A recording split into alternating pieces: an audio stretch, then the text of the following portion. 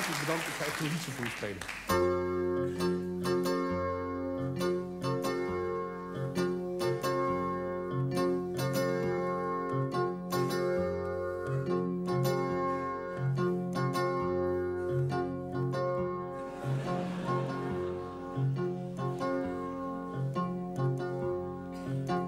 Soms roep ik mijn ikken bij elkaar.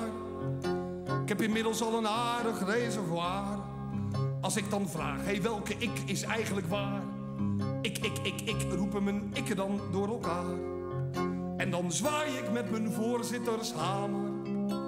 Verzoek om stilte in mijn bovenkamer. En dan geef ik met een vorstelijk gebaar het woord aan mijn ik van negen jaar. Hij woont nog in mijn binnenkant, soms neemt hij de overhand. Ken ik van negen jaar al 32 jaar. Kijk, daar loopt hij met een gulden voor de kapper. Maar hij geeft zijn gulden uit aan Veta Drop. Want hij vindt het maar een stomme lul, die kapper. Wat je ook vraagt, hij knipt altijd zo'n stekelkop. Kijk hem daar nou huilend op de gang staan. Hij is er weer een keertje uitgezet.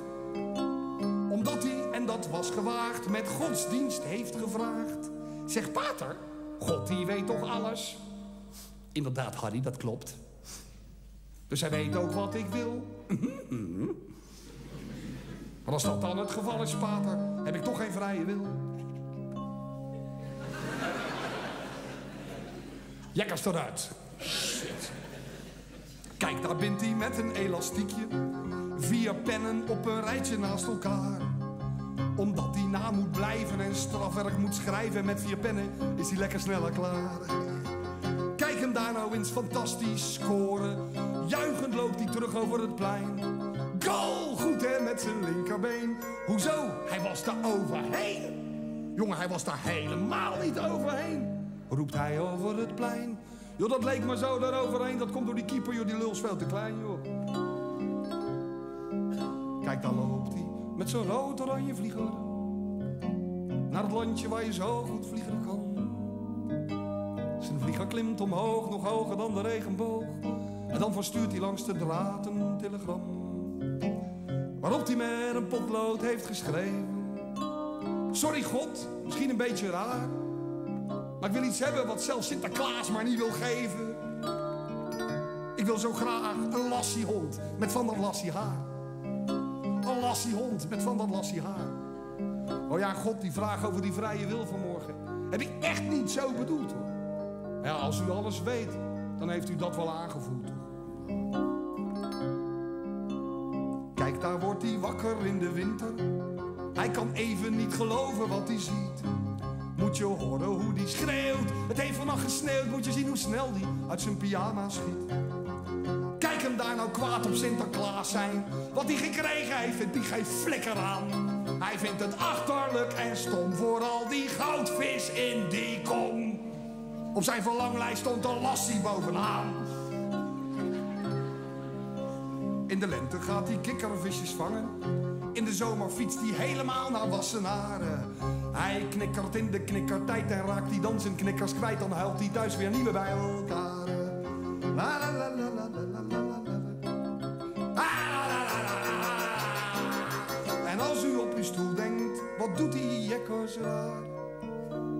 Jo, dat ben ik niet, dat is mijn ik van negen jaar. Mijn ik van negen jaar, die alles mee heeft. Die door zijn moeder op zijn wenken wordt bediend. Hij snapt niet dat hij in een paradijs leeft. Dat zijn vader elke dag voor hem verdient. Maar het stomste van mijn ik van negen jaar is. Dat weet ik zeker, omdat ik hem goed ken. Het stomste wat hij wil, met zijn stomme kleine vrije wil. Hij wil groot zijn, net zo groot als ik nu ben. Hij wil groot zijn, net zo groot als ik nu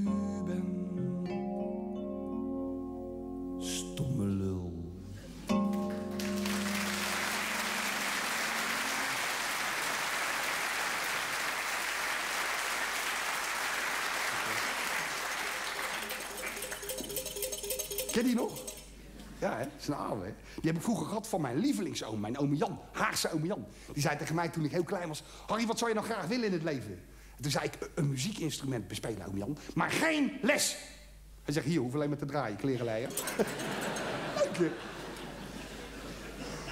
Heb ik altijd bewaard, dat ding. Altijd. Mijn hele leven. Vind ik mooi. Wat die kinderen tegenwoordig krijgen, daar word ik goed moe van, zeg. Ik zag laatst een meisje en die stond een peperdure pop te verbranden. Van, ik schat 100 piek. Ik zeg, waarom sta jij die pop te verbranden? Zeg, dat moet meneer, dat staat op het doosje. Ik zeg, geef eens hier dat doosje, joh. En het stond erop, joh. Was een barbecue. Hij kan ook mee verdienen met zo'n idee, hè? Ja. Maar daar wou ik het eigenlijk niet over hebben, dames en heren. Ik wou het hebben over mijn Haagse oom Jan, mijn lievelingsoom.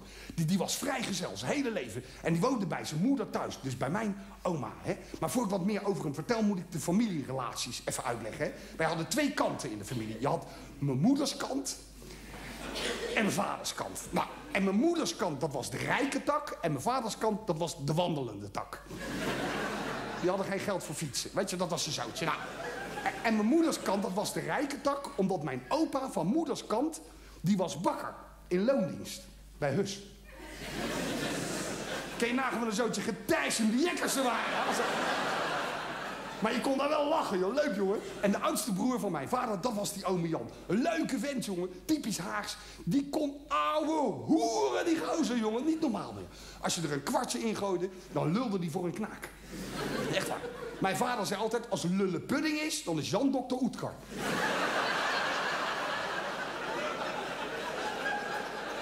Is een beetje een beeld krijgen, hè? Ja. En het was een typische Hagenees, hè? En, en, u weet wat Hagenezen zijn. Hagenezen hebben een eigen creatief taalgebruik. Hagenaars niet, maar Hagenezen heb ik het over, hè? Ze hebben een eigen creatief taalgebruik. Ze hebben scheid aan vandalen, aan de dikke. Ze hebben zo hun eigen vocabulaire. Ze weten vaak niet wat dat woord betekent, maar ze hebben het wel, hè? En mijn oom Jan was ook zo'n man, prachtige man. En, en die zei bijvoorbeeld nooit, ik zal ze een voorbeeldje geven. Bijvoorbeeld, god, wat heeft die Piet toch een last van zweetvoeten, zeg. Die zei altijd, Jezus zegt, die Piet die stinkt door zijn schoenen heen.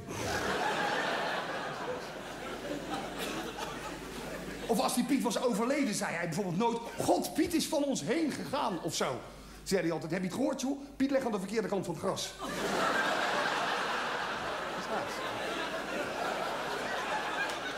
Ja, dat is Haags, hè? Of een, vari... of een variant daarop was, als Piet dood was, zei hij ook wel eens... Heb je het gehoord, joh? Piet is een zandfabriek begonnen. Dan was je dood, jongen. Dan was je dood. Had hij een hekel aan die Piet, dan zei mijn oom Jan weer wat anders. Dan zei hij, mooi, Piet ligt eigenlijk de maaien te voeren. En een variant daarop weer was van, heb je die kaart van Piet gehad? Die verhuiskaart? Nou, dan blijft hij wel even wonen, geloof ik, hè? Mijn oom Jan ging ook nooit een kleine boodschap doen op de wc of zo.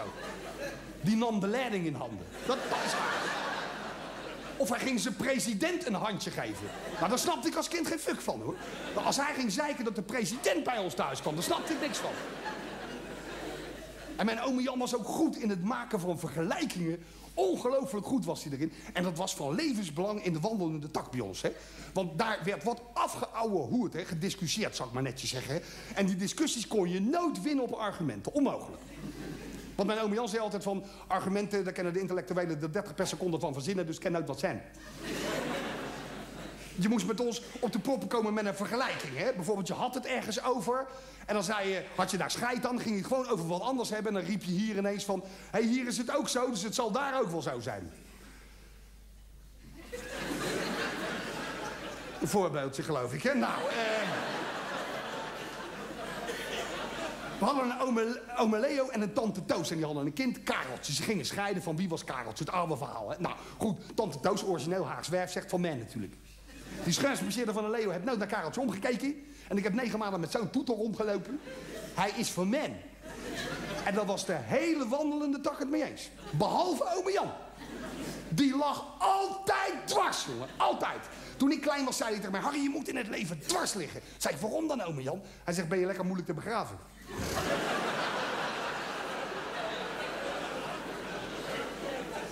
en die was het er niet mee eens. Die zegt, nou, volgens Mento's is Kareltje juist van Leo. Nou, het huis was te klein, zeg. En het was wel een klein pokkenhuis, hoor. Het was heel klein. En, en, dan, dames en heren, als die ruzie zich ontwikkelde... kwam de, kwam de gouden vergelijking. Dan haalde mijn oom Jan een riksdaalder uit zijn zak en zei... Kijk eens thuis, ik heb hier een knak. Je nog volgen? Stel ik daar die knak in een sigarettenautomaat... dan komt een pakje sigaretten uit. Van wie is het pakje sigaretten? Van men? Of van de automaat?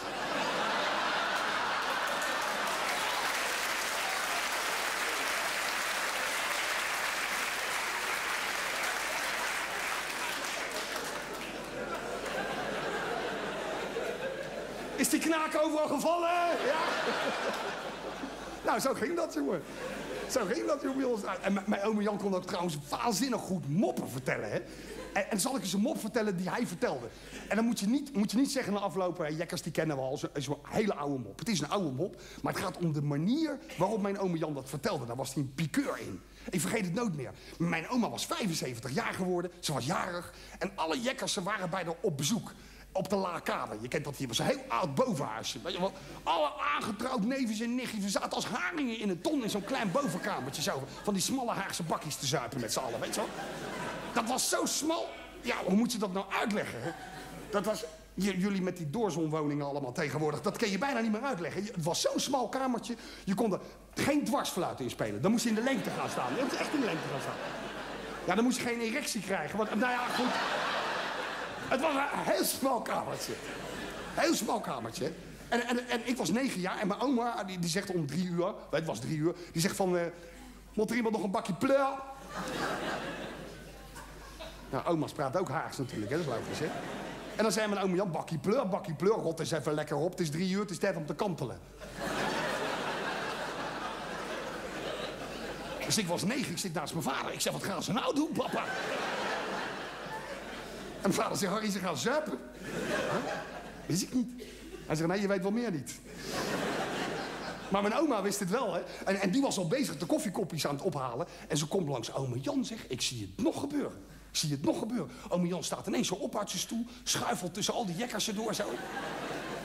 Schuift piepend dat oude, oude schuifraam open, zet er een hartje tussen.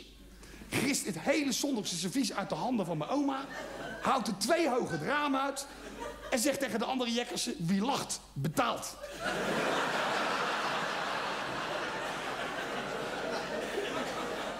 Dus ik zit naast mijn vader. Ik zeg, wat gaan ze nou doen? Mijn vader zegt, oom Jan gaat een mop vertellen. En dan moet je niet als eerste gaan lachen, Harry. Maar als je dat doet, ben je in één keer, hup, je hele spaarvarken kwijt.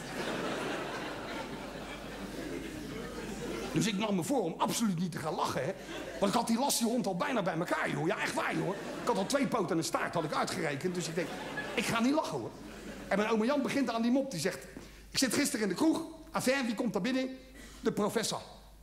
Je weet wel, die doorgestudeerde bioloog die alleen maar kantelt. Hij kwam binnen, het was alweer zover. Hij stond sterf van de Jan Wandelaar.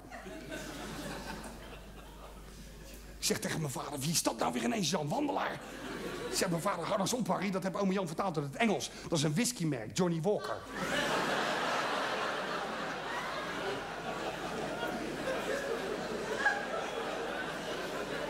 Ik was negen dat ik hem nou niet snapte, maar kom op nou even.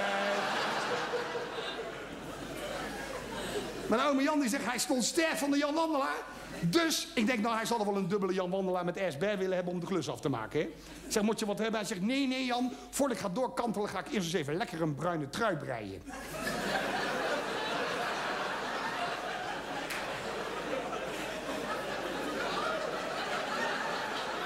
Zegt tegen mijn vader, waarom gaat die vent dan eens een bruine trui breien? Snap er niks meer van. Harry, dat is scheid en hou je kop nou eens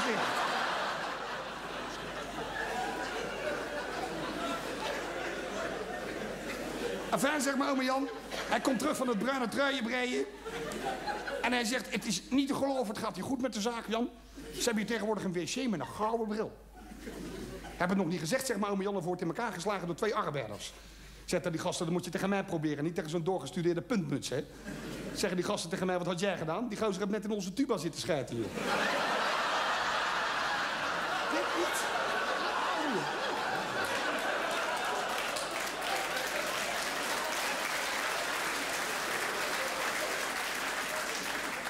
Nou, gelukkig snapte ik de mop niet. Maar de rest van de familie jekkers wel. Dus iedereen begon... En mijn oma Leo begint als eerste te hinniken. En Jan die laat zo, hup, dat hele servies lazeren. Hij zegt, Leo betaalt. Mijn oma huilen natuurlijk. Vuile kleren lezen, ze dan het verve servies deze week. Kap ernaast mee, hoor.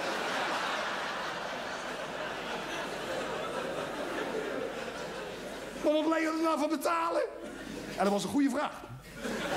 Want Leo was gaan scheiden van tante Toos. Hè? En, en die, moest alimentatie betalen. Nou, die was ook weer bij zijn moeder gaan wonen, zeg. En de Kareltje, dat jongetje, die heeft hij nooit gekregen. Want tante Toos zei vlak voor de echtscheiding tegen hem... Moest luisteren, Leo. Ik heb er nog eens over nagedacht, jongen. Maar eh, ik geloof dat Jan toch wel gelijk heeft met die vergelijking van die sigarettenautomaat, toch? Maar spijt me voor jou, destijds heb niet jij, maar de buurman die knaakt erin gelazerd, hè?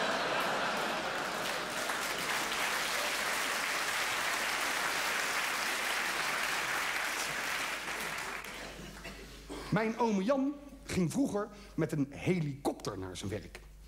Niemand wou het geloven, behalve ik. Want hij loog tegen iedereen, behalve tegen mij. ik zei, waar is die helikopter dan, oom Jan? Ik heb hem nog nooit gezien. Hij zei, Harry, overdag ben ik daarmee naar mijn werk. En s'nachts slaapt hij tussen die twee schoorstenen op het dak. Vlak boven het kamertje waar jij altijd logeert bij ons. Vanaf de straat kon je hem net niet zien. En als ik wel eens wakker werd, als ik daar logeerde... van het geluid dat mijn oma maakte met haar koffiemolen... ze had zo'n wandmolen, weet je dan hoorde ik... als ik wakker werd, hoorde ik... Dacht, jezus, ome Jan stijgt op. En dan, en, dan maakte ik Kareltje wakker, die daar ook vaak logeerde... en waarvan toen nog niemand wist van welke knaak die nou precies was betaald. En dan zei ik van, van hoor je, ome Jan gaat naar zijn werk, joh. Nooit, nooit heb ik getwijfeld aan het bestaan van die helikopter. Kwam mijn ome Jan wel eens thuis op zijn Brini M21. Zo'n ouderwets Brinietje, weet je wel. Dan dacht ik altijd, hé, hey, de helikopter zal wel stuk zijn. ik geloofde. ik was een gelover. Sinterklaas, daar heb ik, heb ik in geloofd tot mijn dertiende. Tot de eerste klas MAVO. Ik bedoel Atheneum. heb ik daarin geloofd ellenlange brieven schreef ik aan Sinterklaas. Hoe voorbeeldig heb ik me wel niet had gedragen. Met daarbij altijd een verlanglijst met op nummer 1 Alassiehond. Punt. 2, niks. 3, niks. 4, niks. 5, niks. 6, niks. 7, Z-O-Z. En dan stond er achterop een grote vilstift... geen gelul, Alassiehond. Punt. PS, niet weer een lassie hond van chocola. Nou, dat was het, hè? Nou, en om mijn liefde voor dieren te bewijzen... zette ik elke avond een grote emmer water neer bij mijn schoen... en tien van zulke joekels van winterpenen. Voor het paard, schreef ik er voor de zekerheid bij. nou, na mijn dag uh, was ik weer eens bezig met een brief aan Sinterklaas... toen mijn moeder zei... Harry, kom eens in de keuken. Ik heb je wat lulligs te vertellen. Je bent nu dertien. En ik zal het je meteen vertellen. En ik baalde, ik baalde. Ik wou het niet horen. Dat heb ik nog steeds als een karaktertrek voor mij. Als er een lullig verhaal op me afkomt, denk ik altijd... ik ga gewoon in de tegenaanval. Ga ik gewoon over wat anders beginnen. Had ik toen ook al, hè. Dus ik zei meteen, toen ik hoorde dat er een vervelend verhaal kwam... zei ik, wijzend op de pannen op het fornuis... Gadverdamme zeg, eten we vandaag alweer penenuien.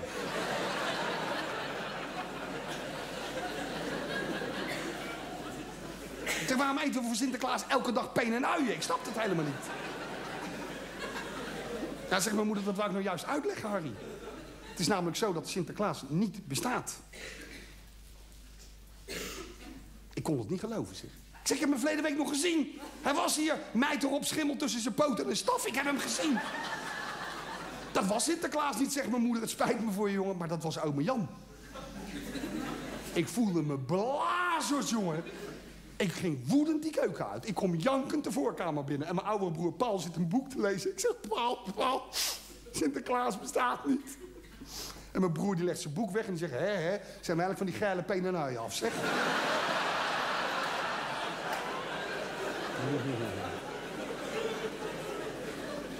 Ja, ik zat er maar mee, hè. Lach maar, ja. ja ik heb er een week over, over, over, over uh, ingezeten, een week. En toen was het over, want bij kinderen gaat verdriet gelukkig gauw over. Hè? En toen was ik er overheen. Toen zat ik op een middag zat ik televisie te kijken uh, bij mijn oma thuis. Hè? En, uh, en uh, nou, ik zat eigenlijk niet te kijken, ik zat meer een boek te lezen. We zaten samen te kijken. Die knaken Kareltje, weet je nog? Die knaken Kareltje, die was er ook bij. En Sinterklaas was op tv. Ik zag het niet hoor, hij begon er zelf over. Hij zei, kijk nou, Sinterklaas.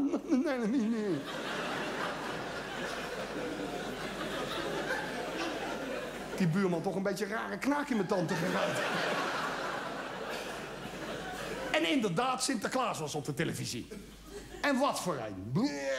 Een Amsterdamse Sinterklaas. Wat heb ik daar een hekel zeg. Een nicht van een Sinterklaas. Vreselijk.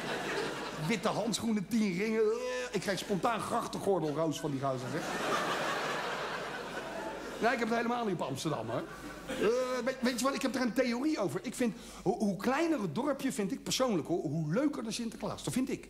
Ik ben eens een keertje geweest bij de aankomst van Sinterklaas... in een heel klein gehuchtje in Friesland. Grandioos. Dan komt hij ongesubsidieerd aan. Dat is lachen, jongen. Komt hij aan in een lek roeibootje. Dat is leuk, jongen.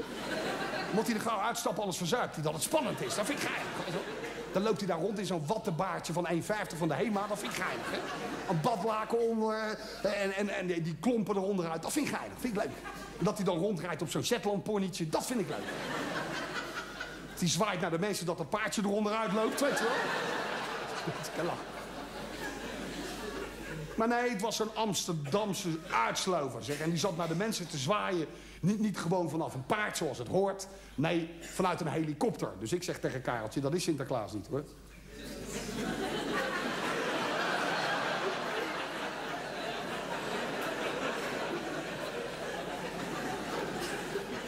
Inderdaad. Ik zei, dat is ome Jan. Ha, ha, ha.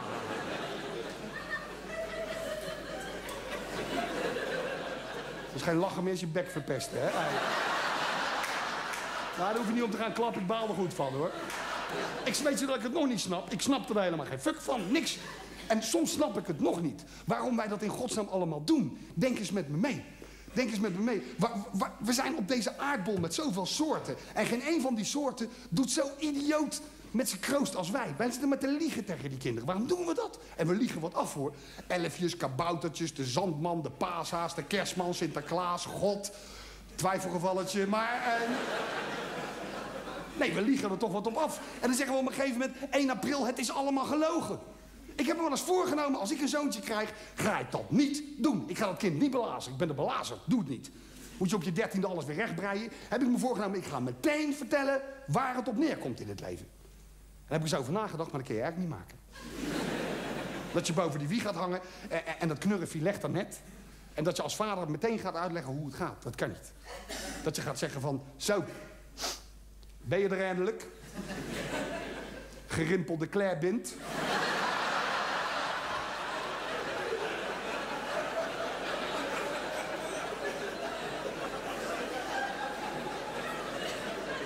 Ik zal je wat over het leven vertellen, dus luister het goed. Punt 1. Kijk er maar eens goed in de spiegel, biljartbal. Over 30 jaar ben je weer net zo kaal als nog. Punt 2. Tanden. Je krijgt twee keer tanden. Keertje melk, keertje puur. Het blaast het er allemaal weer uit, dus je kan net zo goed meteen een kunstgebitje nemen, hè? Punt 3. Ellebogen. Moet je zuinig op zijn, moet je je hele leven nog mee werken. Punt 4, dat stukje tuinslang tussen je poten. Dat lijkt even leuk, dat stukje tuinslang. Maar hangen die slang één keer in een andere tuin... kan je hele leven alimentatie betalen.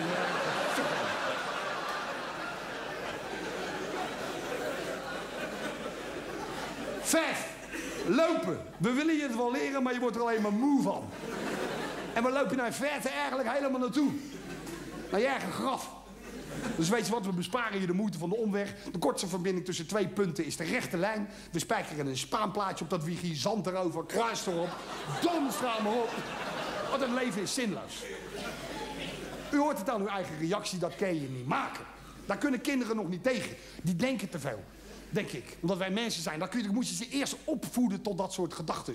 Je, je kan bijvoorbeeld geen literatuurles geven alvast. Voorlezen uit de avonden van het leven. Kan niet. Zit die muppet op zijn vijfde op bij de psychiater. Hè? Dan mag ik ietsje meer zijn. Dat kun je niet doen. Of goede, grove grappen vertellen. Daar kan hij niet tegen. Want hé, hey, klerenlei, je hebt nog 30 jaar om te mislukken.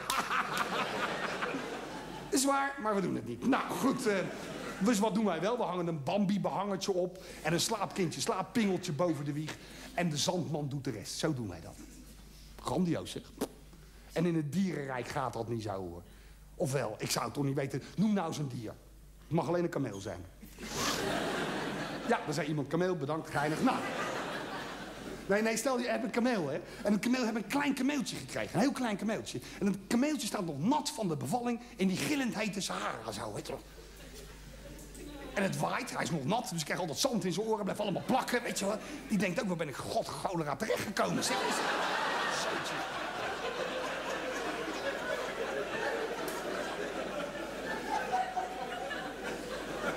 Wat is dit voor een B-film waar ik in zit, joh? Dat ken.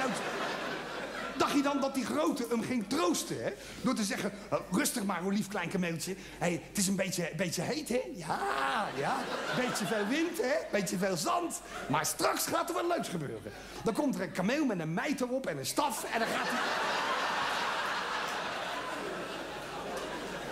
No way, no way. Trouwens, geen gezicht, hè? Kameel op een paard.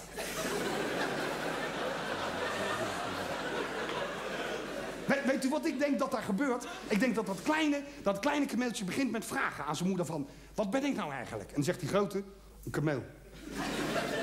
Zegt de kleintje, is dat leuk een kameel zijn? Nee, het geeft flikker aan. Wat moet je dan doen als kameel? Lopen, naar water. Ja, dan moet je bij dat water dan doen? Je bulten vol slobberen. En dan lopen naar het volgende water. Zo je hele leven door. Dus opstaan, lopen, beginnen. Ja, het is een beetje heavy, een beetje grof voor het kleine kameeltje. Maar hij weet wel meteen waar hij aan toe is. Hij wordt niet belazerd. Misschien denkt hij nog wel heel even, als hij daar in die gillende hitte staat met dat zand in zijn oren. Als hij net dat verhaal gehoord heeft, dat hij dan denkt van... Nou, ik ben dus een kameel. Kut.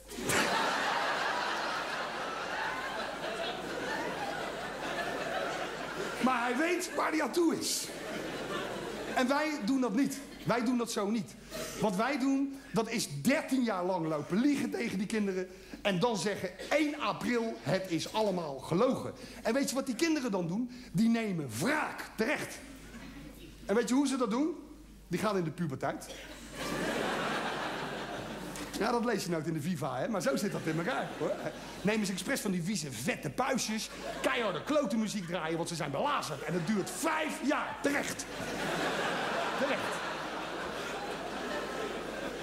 En, en, en pas, pas als ze dan 18, 19 worden, dan kunnen ze eindelijk het leven weer aan zonder die verloren illusies van Sinterklaas en de kerstman. Dan durven ze weer de wereld in te kijken en dan zien ze dat de wereld slecht is. Lelijk, honger, dorst en oorlog. Maar dat is geen probleem, want dan nemen ze in plaats van hun verloren illusies idealen om de wereld te verbeteren. Dat die idealen achteraf vaak weer illusies blijken, dat weten ze dan nog niet. Dat is maar goed ook, want anders zou er nooit wat veranderen. Nou, eh, en in die tijd, dames en heren, was ik natuurlijk geen uitzondering. Hè?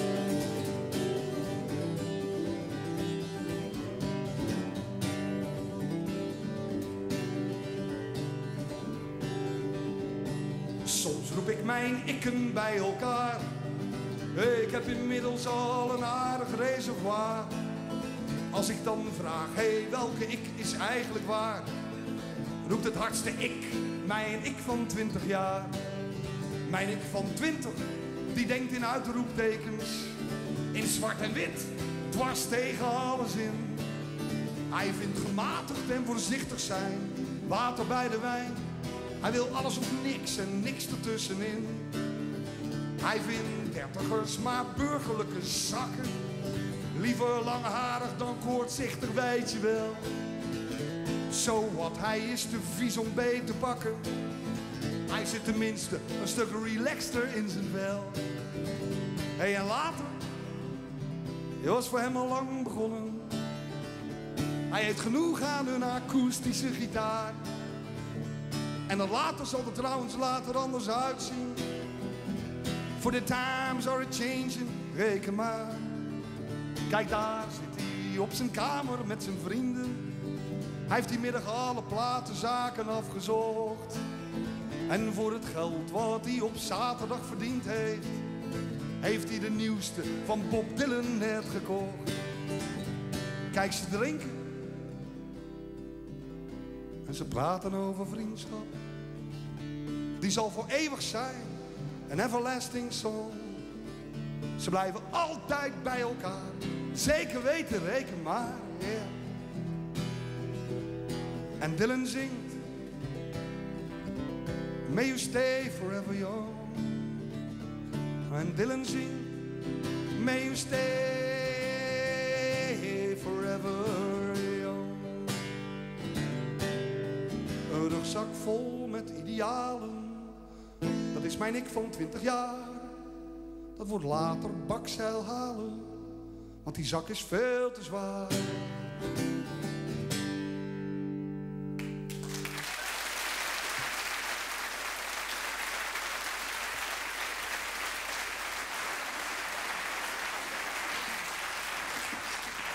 toen ik twintig jaar was, liep ik stijf van de principes. Stijf van de idealen. Zo was die tijd. De veertigers in de zaal, die weten het nog wel. toen wij twintig waren, eind 60s, begin 70s... waren wij principieel idealistisch. Iedereen, het was mode. En de jongere mensen in de zaal, die zijn er gelukkig ook... die moet ik dat even uitleggen. Jullie denken vaak, die eind 60 jaren... wat is dat een zootje geweest? Viel wel mee. Stel er niet zoveel voor. Hè. Weet je wat het sleutelwoord was? Ik zal het goed proberen uit te leggen. Dat was kritisch. Wij waren waanzinnig kritisch toen. En kritisch, wat hield dat nou precies in? Het was mode, het hield in. Je had eigenlijk, je wist nergens een fuck van, niks. Je wist nergens wat van. Je had één boek gelezen in de Boom van de Ring of zo. En je had één plaat gedraaid, Easy Rider, maar, maar je wist nergens wat van. Maar je stond overal met heel lang haar en een joint in je hoofd vooraan te roepen van... Hoezo dan eigenlijk, weet je wel?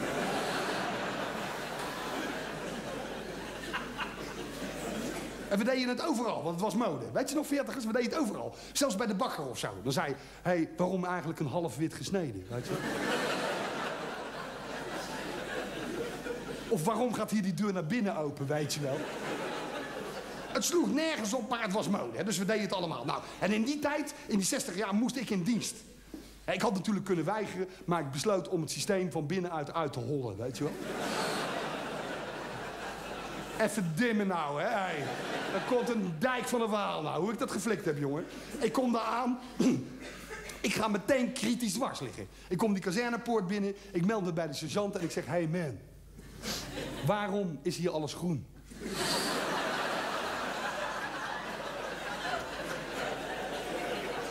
Zegt die gozer, jekkers, hè? Ik zeg, ja. Hij zei, jekkers, dat, uh, alles is hier groen, dan valt het hele zootje niet zo op in het bos. Ik zeg, en in de herfst dan?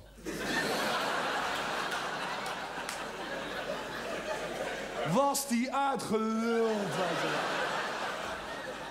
En dan worden ze autoritair, weet je wel. Dus die gozer zegt, jekkers, jij ben ik al meteen zat. Jij gaat nu als eerste en enige, jij zit hier bij de infanterie, de zandhazen ook wel, ga jij nu als eerste alvast, we gaan het straks allemaal doen, maar jij begint alvast sjoelen. Dus ik zeg, sjoelen? Dat lullige spelletje met die schijven? Hij, hij, zegt, ja, dat is van levensbelang hier zo. Ik zeg, joh, dat doe ik thuis wel met mijn vriendin Sjoele. Ik ga toch hier niet... Hij zei, Jekker zegt, gaat nu, nu, ga jij zoelen en je komt er nog wel achter waarom dat zo belangrijk is. En de volgende dag, dames en heren, kwam ik er al achter. Toen hadden we namelijk een veldoefening. En voor de jongere mensen, een veldoefening eind 60 jaren, dat is moeilijk. Uh, dat was oorlog voeren tegen de Russen op de Hoge Veluwe met een hek eromheen. En de Russen waren er niet bij. Ja, een beetje ingewikkeld, maar goed, hè. Dus wij, en nou, wij hadden een veldoefening. En wij waren zandhazen, dus dan liep je echt van paal. Met, met een klapperpistootje en vijf losse vlodders... liep je daar maar over die hoge velen heen. Nou. Op een gegeven moment liep je tegen een hek aan... en moest je de andere kant uit. Nou, dat was het zo'n beetje, hè. Dat was het. En die gozer zeggen op een gegeven moment... jongens, zitten, shaggy time. Shaggy time. Moest je roken, was verplicht toen. Iedereen rookte. Nou, goed. Dus wij roken en hij zegt, wij van de zandhazen zijn onoverwinnelijk. En ik zei, ga toch weg, joh. Ik zeg, we lopen hier met zo'n zo'n waterpistooltje... en er zijn atoombommen, raketten, tanks, vliegtuigen. Hij zei, Jekkers, is leuk, kritisch... maar daar gaat het niet om, we moeten er wat voor doen om onoverwinnelijk te worden. Daartoe moeten wij een schuttersputje graven. Een schuttersputje, dat is een soort graf voor jezelf graven.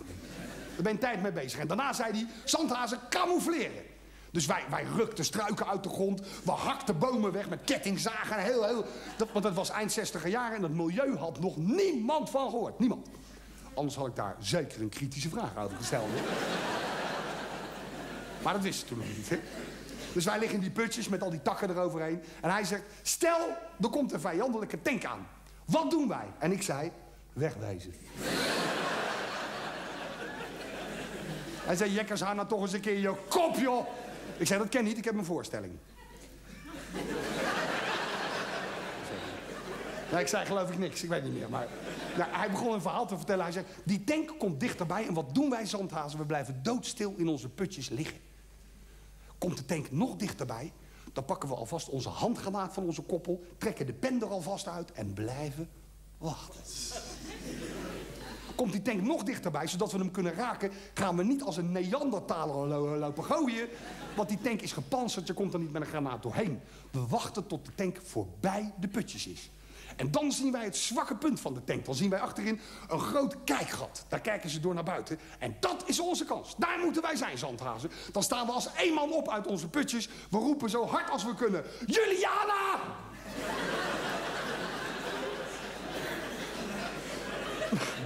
Ik vertel zoals het gebeurd is, hè? Nou, goed, hè? En we gooien die handgranaten door dat kijkgat naar binnen. Baf, wegtank.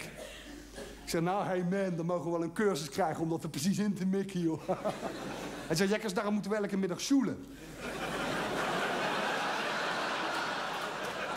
Hij zegt, en, en ik ben jou goed zat, Jekkers. Jou ben ik, jij wordt overgeplaatst. En ik zei, het maakt mij niet uit, man, waar ik het systeem uithol. Hij zegt, goed, ga je naar de tankdivisie.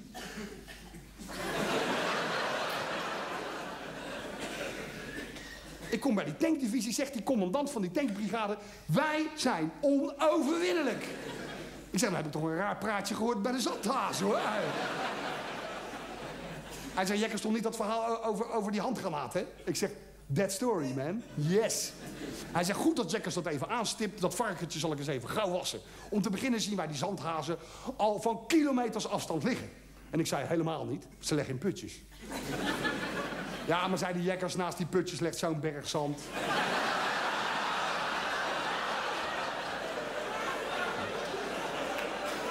En er is een hectare bos gerooid in de omgeving. Kan niet missen, daar leggen die zakkenwassers onder. Nou. Dus wat doen we nou? We benaderen de zandhopen en we stoppen naast de zandhopen. Met een korte ruk naar links zorgen we ervoor dat de zandhoop over de zandhaas heen valt. En dan rijden we nog een keertje diagonaal overheen. En klaar is Kees. Het scheelt aan munitie, ze zijn dood en meteen begraven. Het enige wat je nog hoort als je goed luistert boven het zand, dat is... Dat noemen wij een zandgewaad. ja, en zo, zo, dames en heren. Op die manier kwam ik erachter hè, uh, uh, dat iedereen zogenaamd onsterfelijk is. Hè. Maar, maar ik dacht, waar komen de doden dan vandaan? Heel kritisch was dat. Hè? Ik dacht dat. En toen ben ik principieel uit dienst gegaan. Uiteindelijk ben ik eruit gegaan met S5 voor beide ogen. en toen heb ik, conform de mode van die tijd, een, een protestliedje uh, gezongen en geschreven. En uh, het is een van mijn eerste liedjes die nog steeds door de beugel kan, vind ik zelf. En die wilde ik heel graag aan u laten horen.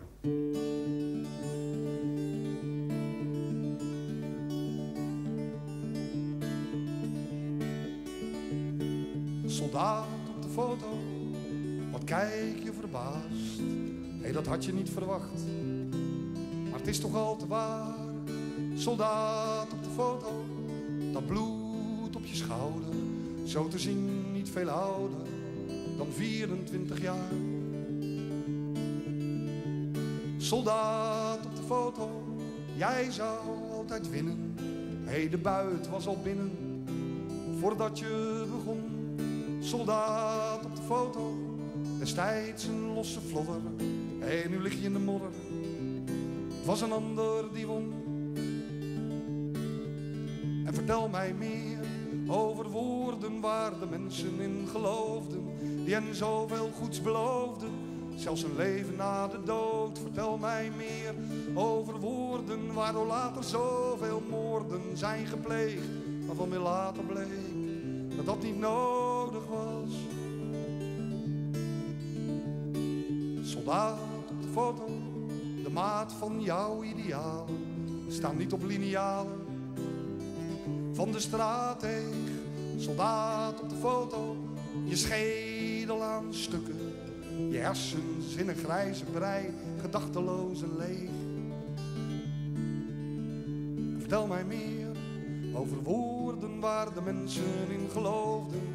Die hem zoveel goeds beloofden. Zelfs een leven na de dood. Vertel mij meer over woorden waardoor later zoveel moorden zijn gepleegd. Waarvan weer later bleek dat dat niet nodig was.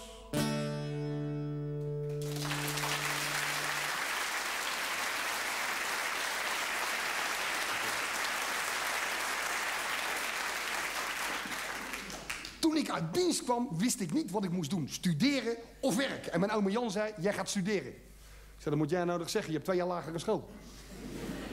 Hij zegt, Harry, je gaat studeren en dan kun je veel meer verdienen. Maar kijk wel goed uit als je gaat studeren. Ik zeg, hoezo dan? Wat weet jij er dan vanaf? Hij zegt, je kan er helemaal led van worden. Ik zeg, van studeren? Hij zegt, ja joh. Hij zegt die professor bijvoorbeeld. Die, die, die is helemaal lep ervan geworden van het studeren. Ik zeg, hoe weet je dat dan? Hij zegt, nou, hij kwam laatst de kroeg binnen zo. Met zijn auto onder zijn arm. Ik zeg, met zijn auto onder zijn arm? Ja, mijn Jan is een geintje tussendoor. Hij had per ongeluk zijn autoradio op straat laten staan. Ik zei, joh, vertel het dan gewoon af, je zeikert. Hij zei, nou, hij kwam gewoon binnen, weet je wel. En hij was als een meleier. Dronken, dronken, dronken, jongen. En dan denk je, nou, ze kunnen beter maar gewoon naar huis gaan, die gasten. Maar dan gaan ze juist nog eens even doorkantelen, hè. Dus hij bestelt een dubbele Wandelaar met S. En verder de eerste smaaknoot, dus nog één. En op twee benen kun je niet lopen. En daarna wordt het Neandertaler tellen, hè. Ik zeg, wat? Hij zegt, één, twee, veel. Af en toe een balletje mayo erbij, want tijdens het kantelen moet je wel een vette bek hebben. Dus op een gegeven moment heeft die gozer voor 60 gulden Jan Wandelaar naar binnen gekegeld. En twee kilo rundergehakt naar binnen gebuffeld, hoor. Zeker. En pas toen zei hij, nou, geloof dat je maar eens naar huis gaat. Zei, nou, donder maar op, hoor. Hij zegt, dag, ik ga lekker naar huis. ik ga lekker met de auto. ik zeg, hé, hé, hé, wacht jij eens eventjes. Je laat die auto hier wel staan, hè? Zegt die barkeeper, kan hem dan even buiten zetten.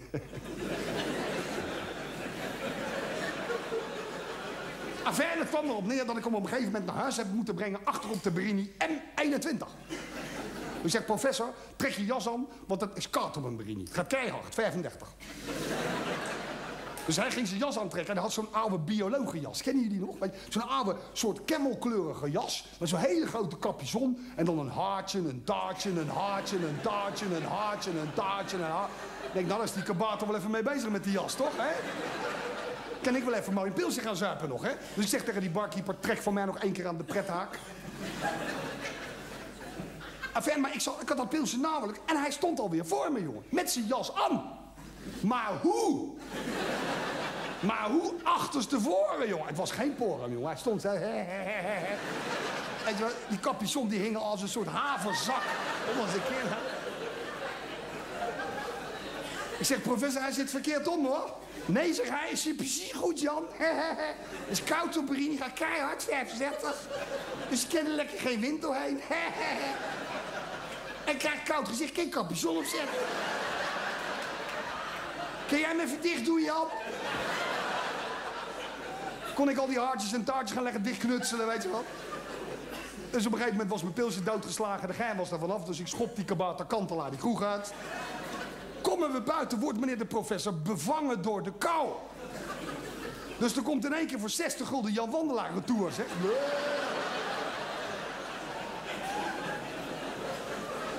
En twee kilo runder gehakt, zo. Gewoon luizen. En ik wou hem nog netjes in de goot douwen. Het was net te laat, zeg. Hij kot zo die hele capuchon vol, zeg.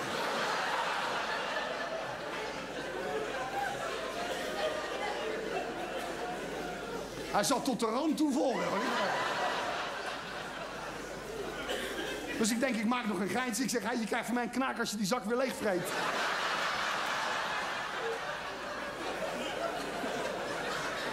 Vond die professor ook een leuk geintje, dus die begon zo te hinniken. Van, maar vanwege die puntmuts werd hij topzwaar. Dus hij het met zijn gezicht recht voorover zo... In zijn eigen whisky gehaktaart, zeg. Ik heb een half uur met een handdoek het gehakt uit zijn oren moeten halen, hoor. Echt waar. Ik heb hem wel meteen die knaak uh, gegeven, want hij had die zak in één keer leeg, hoor. Ja, ja, ja. En hij maar jammeren van, verdomme jongen, waarom zuip ik nu zoveel, Jan? Dan komt er het klote studeren. Dus Harry, kijk goed uit.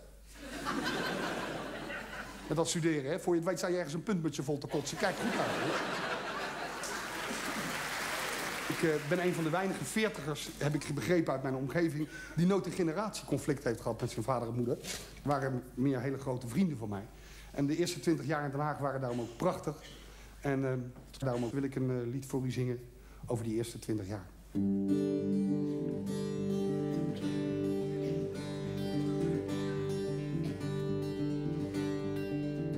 Ze was mooi, het was in 61.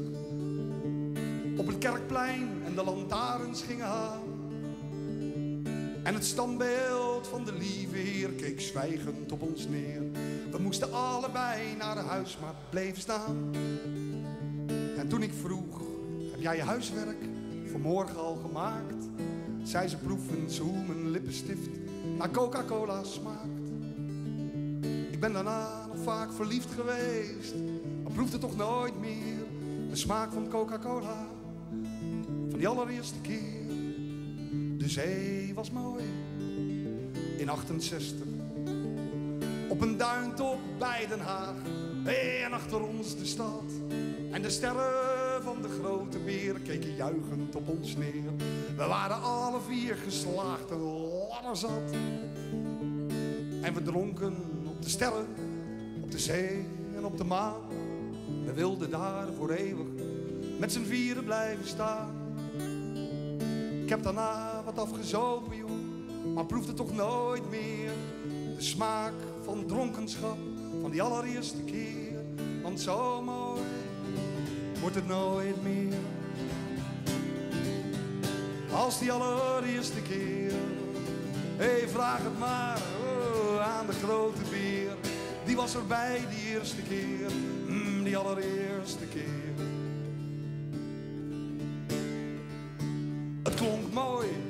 Was in 71. We speelden in een bandje en we zongen Suzy Q. En de spotlights flitsten uit en aan en het mooiste meisje stond vooraan. We zongen om het hardst, mm, I love you. En zonder het te weten speelden we spontaan de sterren van de hemel. Want de zon was opgegaan. Ik heb daarna wat opgetreden, maar speelde toch nooit meer de sterren van de hemel. Zoals die allereerste keer, want zo mooi klinkt het nooit meer. Als die allereerste keer, vraag het maar aan ach, hoe heet ze ook alweer? Ze stond vooraan die eerste keer, mm, die allereerste keer. Het is mooi geweest in 2000 zoveel. Kamer, zie mezelf al staan. Voor een spiegel die vertelt dat mijn dagen zijn geteld. Dat ook binnenkort mijn laatste uur zal slaan. Hé, maar mocht de dood het vragen, ik zou voor geen miljoen, of geen goud mijn leven nog een keertje over willen doen. Want zo mooi wordt het toch nooit meer. Als die allereerste keer, vraag het maar dan nog, hoe heet ze ook alweer? De grote beer, de lieve heer, van die allereerste keer. Hé, hey, zo mooi wordt het nooit meer. Want na die allereerste keer mm, smaakt het alleen nog maar naar meer. Maar nooit meer na die eerste keer. Oh, die allereerste keer.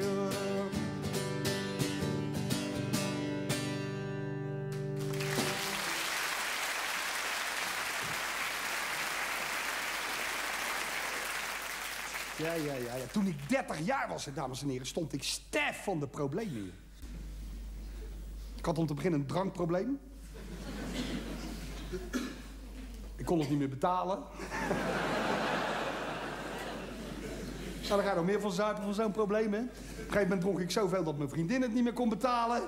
Krijg je een relatieprobleem, moet je het uitpraten. Nou, daar was ik goed in. Was in drie seconden uit. Ja, dames en heren, ik ben 42 jaar, hè. En dan zit ik helemaal niet mee, maar ik zeg het er even bij... omdat ik vind dat ik nu langzamerhand wel eens een keer oud genoeg ben... om aan zo'n zaaltje in Den Haag een keer een advies te geven. Het gaat over psychiaters en psychologen. Daar mag je van mij naartoe. Ben ik liberaal in. Mag. Als er bijvoorbeeld iets vreselijks met je gebeurd is in de Tweede Wereldoorlog... dan mag je van mij gesubsidieerd gaan bijouwehoeren. Dat snap ik, dat snap ik. Terecht. Of je komt uit een gezinnetje van incest thuis best. Nou, dat is het ergste wat je kan gebeuren in het leven. Dat meen ik serieus. En dan snap ik dat je even wil babbelen. Dat snap ik dat je even bij wil komen, hoor. Of dan zit bij jou een schot los, wat bij niemand los zit. Nou, ga maar even ouwe hoeren. Dat snap ik, snap ik. Maar een relatieprobleem, dan niet. Mijn vader zei altijd tegen mij... Harry, van ouwe hoeren word je niet geil, hoor.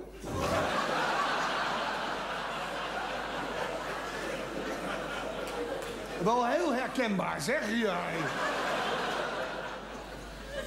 Ja, joh, toen ik 30 jaar was, joh, was ik nog onaangepast. En terecht, wie is er nou aangepast als hij 30 is, jongen? Dat doe je toch niet? Ik had toen al in die tijd, weet je wat, toen ik 30 was, vrienden van 6, 27, waren ze al aangepast van een geiten, zeg. Hadden ze al een koophuis, uh, een abonnement op het theater. Ze had... Nou, sorry. Nou, ze hadden een hoop personeel. Ze hadden al een werkster, een tuinman, een oppas. Ze hadden zoveel personeel. Ze waren bijna wettelijk verplicht een ondernemingsraad te beginnen, joh. Dat gek. Ze zelfmoord wilde plegen, moest het aanvragen bij het GAK. Ja, joh. En, en, mijn vrienden van die tijd, die liepen toen rond in van die achterlijke, zelfgebreide truien. Geen bruine, wie zei dat? En gewoon een normale trui. Weet je wel? Nou, normaal. Zo'n designtrui met van die blokken, die ballen en die strepen. Dat was toen mode, heb ik toen eens over nagedacht. Was toch een teken, hoor. Als je met zo'n trui aan de kroeg binnenkwam, dat was toch een teken. Zo van, deze jongen is bezet. Want er is een vriendin die die achterlijke klote trui elkaar heeft zitten breien, toch? Aan mijn lijf zo'n trui niet, hè? Dat snappen jullie nog wel, hè? ik zit een beetje te patsen, maar toen ik 30 jaar was en onaangepast was het ook wel moeilijk, hoor. Want, want je was je illusies kwijt, Sinterklaas, je geloofde nergens meer in. En je idealen werden wat minder. Hè? Je had een rugzak vol, daar was je mee begonnen. En dan had je nog maar vijf of zes. En, en dan wil je er toch niet bij gaan horen. En weet je wat je dan doet als dertiger die stuurloos is? Dan ga je plannen maken. Dat doen ze. Typisch dertigers. Het roer kan nog één keer om. Je bent jong genoeg, je gaat plannen maken. En die plannen in onze kring destijds hadden op de een of andere vreemde manier allemaal te maken met bier. weet u wat het meest populaire plan was uit die tijd? Heb ik het over twaalf jaar terug, hè? Dat was een camping beginnen in het buitenland. Is dat nog steeds zo, joh?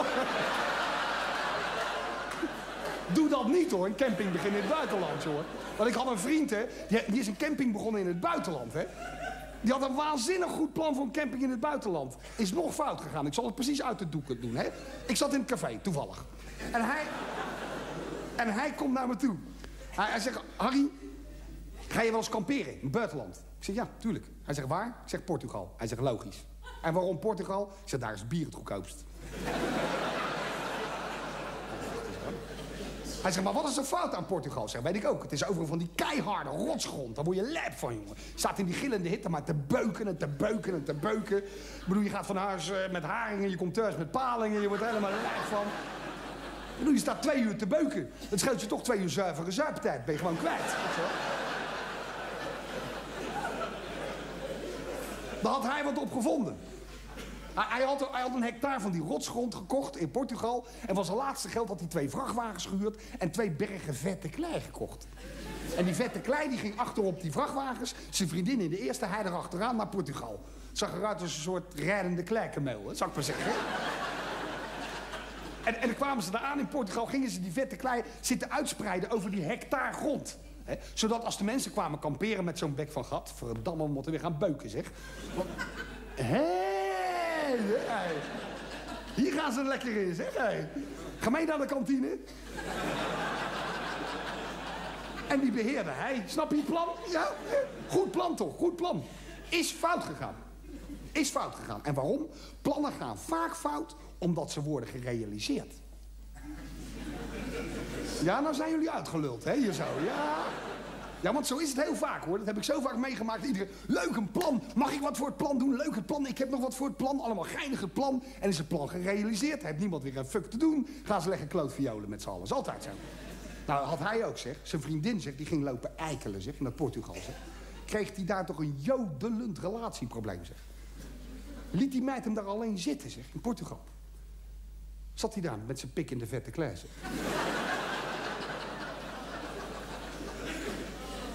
te wachten op een aardbeving.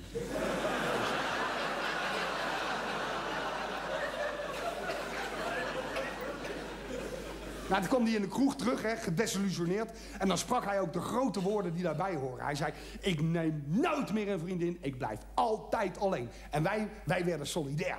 Wij werden koningszwervers. Dat werden we, koningszwervers. Geen vaste verkering, geen vaste vloerbedekking.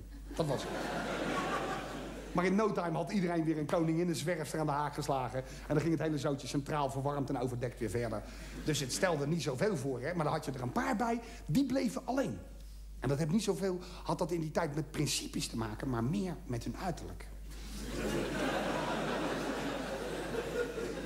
Dan werden ze zo'n 30, 31, altijd een grote bek gehad van... Amen, lef, geen lef. Je kent die gasten wel. En dan wordt ze 1,32 en dan opeens willen ze ook een partner. Ik wil ook een partner. Ik denk, doe normaal, jullie komt er alleen. Nee, ik moet er nou alleen. God, kwam er een meid van 86 voorbij. Maar toch gingen vrienden van mij toen lijp doen om ook een partner te krijgen. Ik snapte er niks meer van. Ik had zo'n waardering voor ze gehad en ineens werden ze een jaar of dertig. En wat gaan ze dan doen? Gaan ze contactadvertenties plaatsen. Daar word je toch helemaal lijp van? Je, zijn ze dik, kaal, werkeloos, 35. En dan schrijven ze op van uh, blonde jonge god.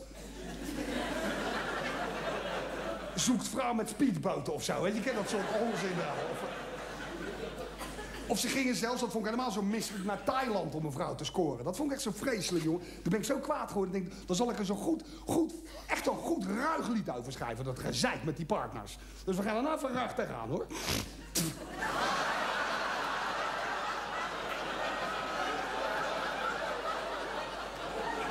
Ja, uitkijken, ik kan ook vooruit spugen, hè? We gaan er even ruig tegenaan nou, hoor. Hey.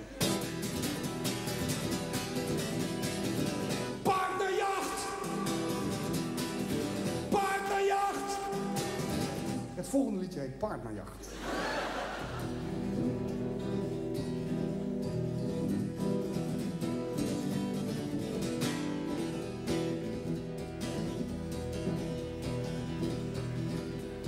Partnerjacht, partnerjacht, de hele wereld is op partnerjacht. Partnerjacht, partnerjacht, de hele wereld is op partnerjacht. Partnerjacht, partnerjacht, de hele wereld is op partnerjacht. Partnerjacht, partnerjacht, ik moet een partner hebben. En het moet voor middernacht. Hey, ik wil een partner hebben, maar het moet wel een mooie zijn. Qua partner doe ik absoluut geen water bij de wijn.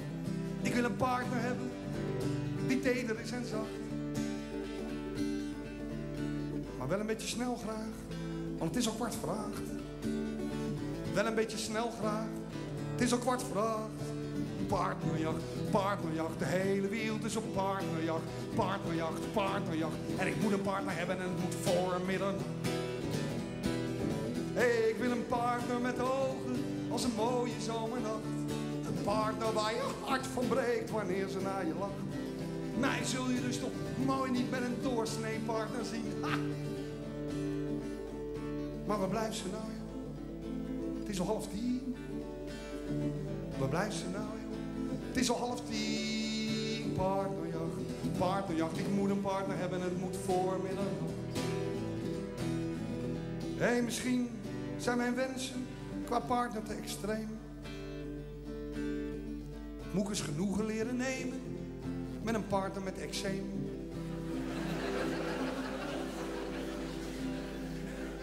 Of met een partner met een lam handje. Of met één korte been. Want het is al half twaalf. Ik ben nog steeds alleen. Liever eentje met een schoonheidsfout dan helemaal geen Partnerjacht. Ik moet een partner hebben en het moet voor middernacht. Ik moet absoluut een partner. Huidskleur geen bezwaar. Het maakt niet uit hoe ze eruit ziet. Doet u mij die groene maar.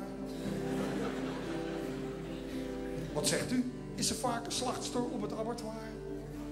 En vermoordt ze stelselmatig partners met een hechtschaar? Maakt niet uit. Geef hier dat mens, scheelt maar haar. Mina, zeggen net op tijd, zeg nog net voor twaalf klaar. Partnerjacht, partnerjacht. De hele wereld is op partnerjacht. Partnerjacht, partnerjacht. En wie niet meedoet, is verdacht.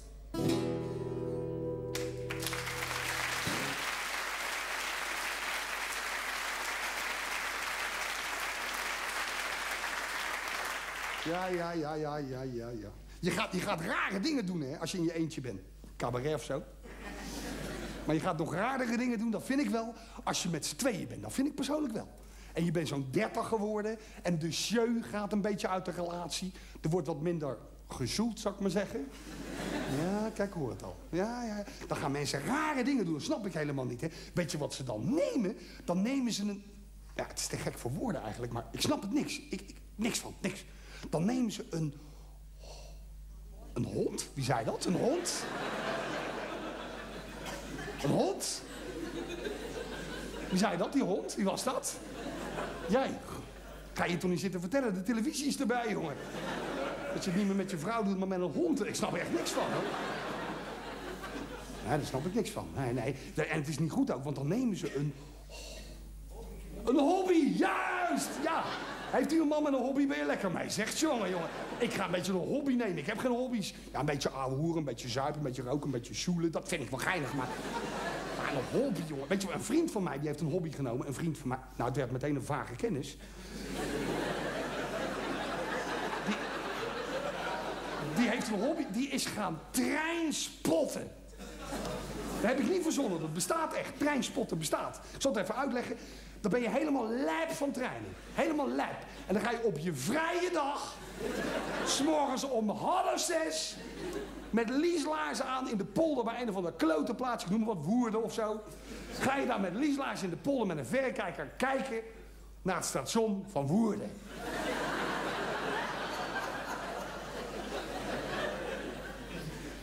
En dan komt er een trein uit en dan zeg jij...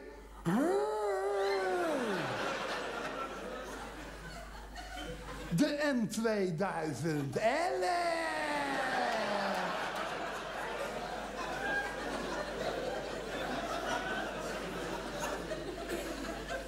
Precies op tijd!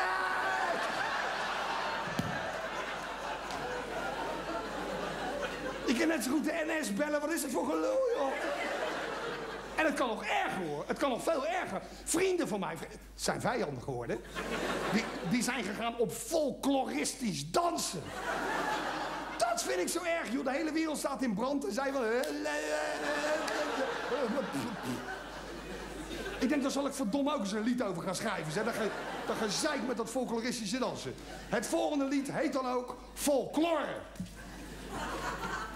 Ja, wacht maar eventjes hoor. Folklore. Folklore. Ik heb dit lied oorspronkelijk gedraaid met klompen aan. Maar het was too much. Moet je die klompen er maar bij denken vanavond. Folklore.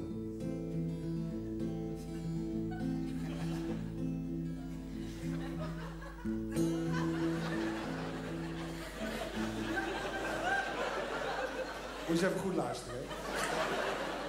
Dit is het algehele dieptepunt van mijn voorstelling. Laten we niet gaan zitten geiten, laten we er even vlucht doorheen werken. Folklore. Het is een parodie, dat je niet denkt dat ik lijp ben geworden.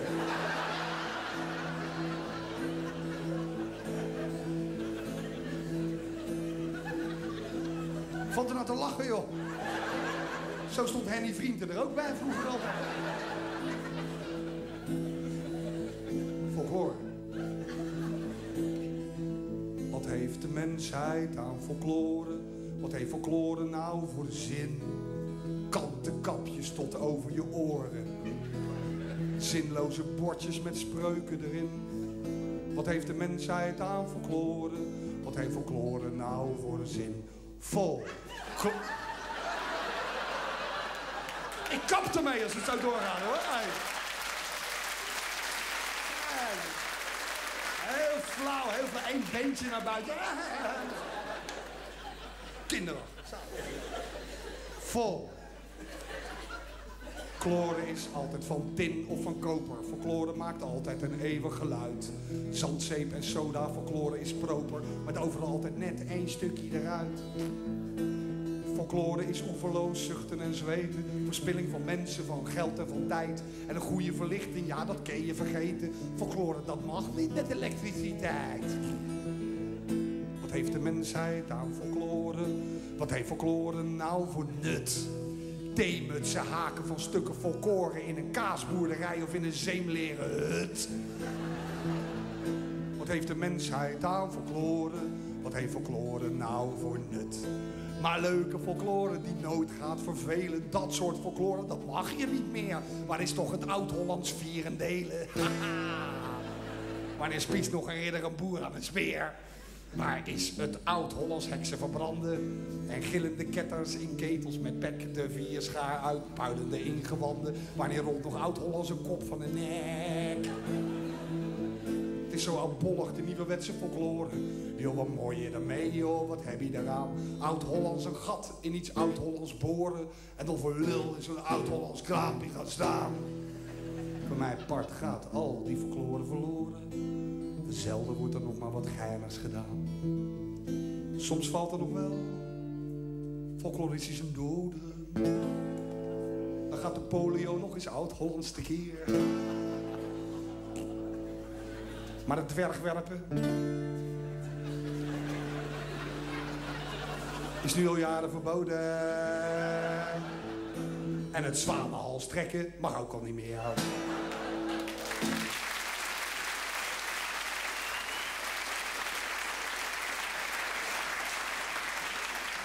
Ja, daar krijg ik echt moordneigingen van, van die folklore. Hè? Maar er zijn mensen die kunnen zo weinig in het leven, die, die moeten wel folklore gaan doen. Dat heb ik geleerd van mijn oma Jan, dames en heren. Van mijn oma Jan zei dat tegen mij. Ik was namelijk zes en ik lag dwars in het leven. Moeilijk opvoedbaar kind was ik. Hè. En het kwam door oma Jan, die spelde me van alles op mijn mouw. Hè. En toen zei mijn moeder, ik ben het zo zat. Ga nou maar eens naar oma Jan om het uit te praten allemaal. Toen kwam ik te biecht bij mijn oma Jan, zeg. En die zei tegen mij, Harry, hoe oud ben je nou? Ik zei zes. Hij zei, dan ben je nog veel te klein voor zo'n grote bek. Ga zitten, luister en je bek dicht. Ik zal je wat over het leven vertellen, Harry, dus luister goed, ik vertel het maar één keer. Het gaat in het leven om maar twee dingen, dus dat is makkelijk. Het gaat om aan de ene kant kunnen en aan de andere kant willen. Dat moet je goed in de gaten houden. We beginnen bij kunnen. Kunnen kan ook voorkomen als kennen. je kunt of kan of ken een klein beetje. Je kent nog meer, je kent nog meer of je kent hartstikke veel. Dat noemen wij talent. Dat is oneerlijk verdeeld. Bijvoorbeeld, je kan hartstikke goed voetballen of je kent er geen kloten van. Ja? Of, of je bent hartstikke rijk geboren of arm. Kijk, dat is moeilijk om dat te veranderen. Dat is aanleg, talent. De ene mazzel, de andere pech. Dat hoort allemaal bij kunnen. Snap je dat? En ik zei, misschien. Hij zegt, nou, aan de andere kant heb je willen. Kijk, dat is eerlijk verdeeld. Iedereen kan zoveel willen als hij wil. Je kan hartstikke veel willen, of je bent heel lui en dan wil je maar een heel klein beetje. Nou, dan gaat het om de combinatie. Moet je, moet je goed luisteren. Dus stel, je kan iets heel erg goed en je wil het ook heel graag. Dan kom je heel hoog uit in het leven. Zie je dat? Wil je iets heel graag, maar je kan het niet zo goed, dan kom je veel lager uit. Snap je dat? En wil je iets heel graag, maar je kent er geen flikker van, kom je uit. En ik ben bang dat het bij jou het geval is.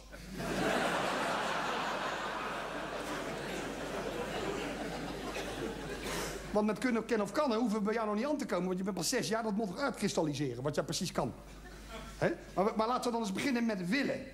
Wat zou je nou, als ik het aan jou op de mannen vraag, het allerliefst nu vandaag meteen willen? En toen zei ik, nee joh, kap nou eens met die honden joh. Een half hond, jongen, jongen, jongen, jongen. Nou, wat is er met die honden hier de hele avond?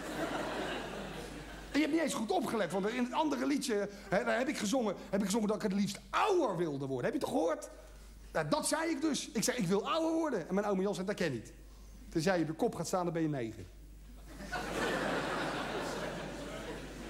En zeg maar, Harry, waarom wil je nou ouder worden? Dat is, niks aan ouder worden. Dat is helemaal niet leuk ouder worden. Hij zegt, het kan al op je twaalfde fout gaan. Hoor. Als je niet mee kan komen op de basisschool, dan moet je naar de OLO. OLO? Hij zegt, ja, ontiegelijk laag onderwijs.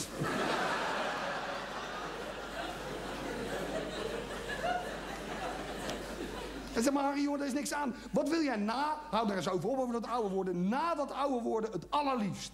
En pas toen zei ik een lassiehond.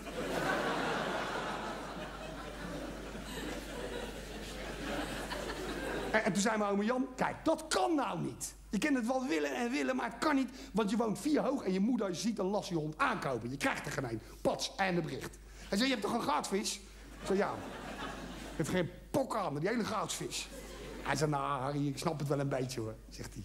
Ik wou natuurlijk vroeger ook een hond, joh. Ik had ook een goudvis. Maar weet je wat ik toen gedaan heb? Ik heb mijn fantasie een beetje gebruikt. Weet je wat ik gedaan heb met die goudvis? Ik zei, nee. Toen heb ik hem leren lopen.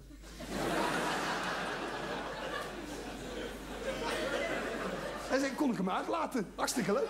Hij kon blaffen, apporteren ook. Zijn stok weggehouden, stond hij even later met de stok in zijn bek... met zijn grote gave staart te kwispelen zo, jongen.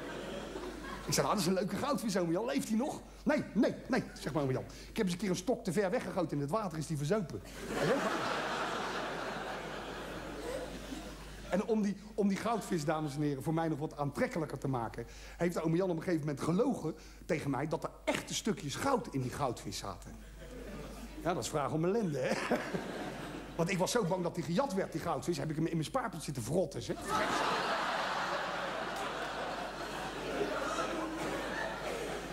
En dat kwam uit, want op een gegeven moment begon dat spaarvarken te stinken. Weet je wel, met die vis. Toen heb ik gelukkig een nieuwe vis gekregen, maar ik voelde me toch schuldig, hè. Had toch het idee dat je een vis had vermoord. Je vreet tegenwoordig zomaar een haring op, maar zo'n goudvis, dat, dat denk je, hè.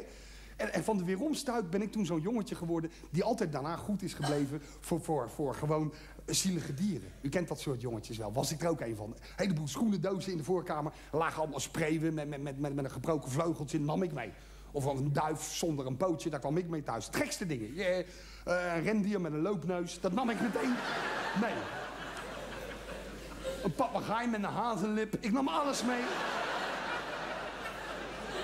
Alles, alles.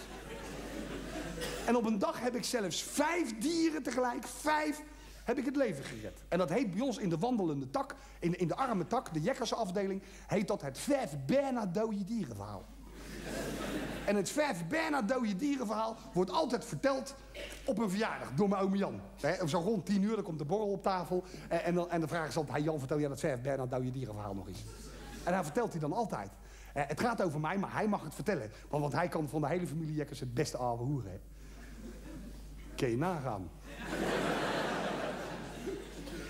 dan gaat mijn oom Jan ervoor zitten. En dan krijgt hij van de dienstdoende tante... jarig is, krijgt hij een kopstootje borreltje, pilsje. En dan zegt hij, Harry was tien jaar. En hij zal de hele grote vakantie bij oma en men logeren. Nou, een van de eerste dagen van de grote vakantie staat hij voor de deur met vijf eieren. Ik zeg, hoe kom jij aan die vijf eieren? Gevonden, zegt Harry. Ik zeg, zeker bij Albert Hen. Nee, wat bleek nou? had een eend gezien en die eend die zat te broeden. En de dag erop had hij gezien dat diezelfde eend was overreden door een vrachtwagen. Dus nou ja, zo was Harry, die ging naar dat nest. En daar stond hij dan met die vijf eieren. Ik zeg, wat nou? Ik zeg, moet oma erop gaan zitten of zo, hè?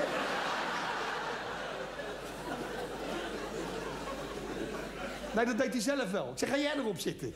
Ze zei, nee, nee, dat had hij van de meester op school geleerd. Er kwam een kartonnen doos in de voorkamer met stro onderop. Daar ging heel voorzichtig die vijf eieren op. Twee bureaulampen erboven. En volgens die meester zou dat zootje uitkomen. Ik denk, nou, kijk het een weekje jammer, gaan die eieren stinken... en dan miet ik die hele zooi pletten. Dat is niet zo moeilijk natuurlijk, hè? Maar wat er gebeurt, joh. Wat er gebeurt. Die meester heeft gelijk, jongen. Die doos komt uit. Nou, je had het moeten zien, jongen. Overal waar Harrietje, Harrietje naartoe liep, waggelden die vijf plusbollen achter hem aan, zo, hè. Want zo gaat het met eentjes, hè. De eerste die ze zien als ze uit het air komen, dat is de moeder. Al komt er een herskraam voorbij, dan maakt het fuck uit.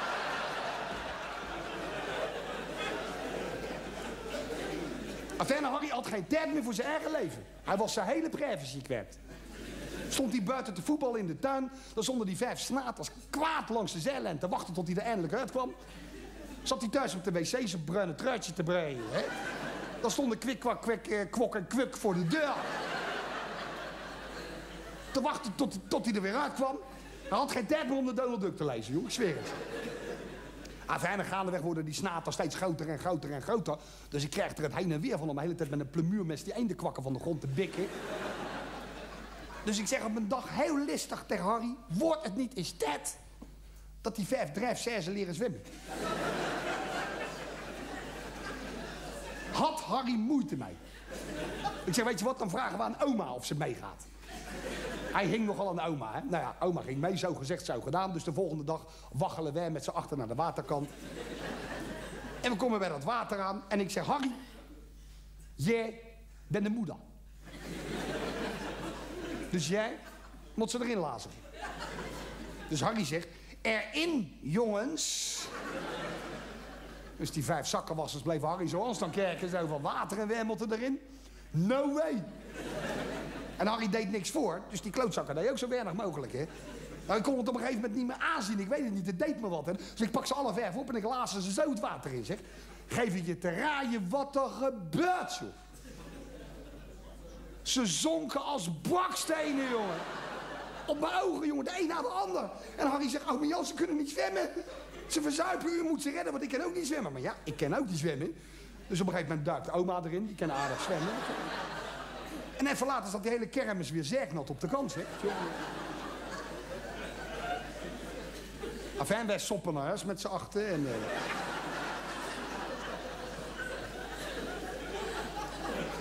ik kom thuis, ik denk, toch eens even de dierenarts bellen, hè. Dus ik draai dat nummer, ik krijg die vent aan de lijn. Ik zeg, misschien een beetje een raar praatje, meneer de dierenarts... maar uh, zit hij met vijf eenden die niet kennen zwemmen, joh. Wat bleek nou? Dan schijnen die beesten ergens achter op hun rug, hè, tussen hun twee, twee vleugels... Achter, achter boven hun staart schijnen ze ergens een vetkliertje te hebben, een klein knobbeltje. En dan moeten ze met hun snavel regelmatig zo over wrijven. En dan zo door hun veren, anders blijven ze niet drijven. En dat had Harry nooit voorgedaan, zo van... Dus ja, moesten die vijf duikboten dat weten, die wisten dat ook niet. Want toen hebben, hebben we een, hele middag lang, Harry en ik samen, hebben we over die knobbeltjes zitten wrijven. Weet je wel? Om zijn beurt hadden we... Nou, op een gegeven moment waren ze zo vet als bagger. We konden ze bijna niet meer beet halen, weet je wel? Hebben ze één voor één laten proefdraaien in de gootsteen? Nou, jongen, al ging je erop zitten, jongen. Ze bleven er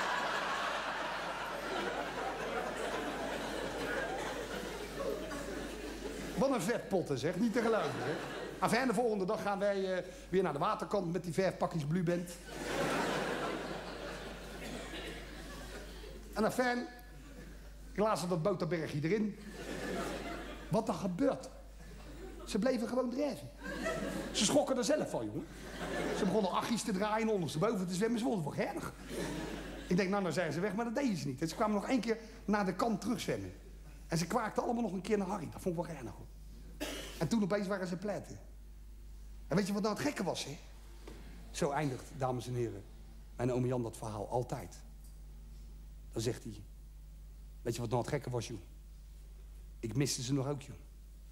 Die vuile klerenleiers.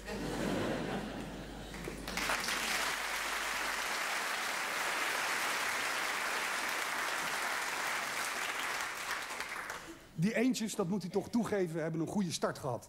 En dat is belangrijk in het leven. Heel belangrijk om een goede start te krijgen. En gelukkig heb ik die van thuis gehad. Vandaar dat ik een lied wil zingen voor mijn vader en moeder.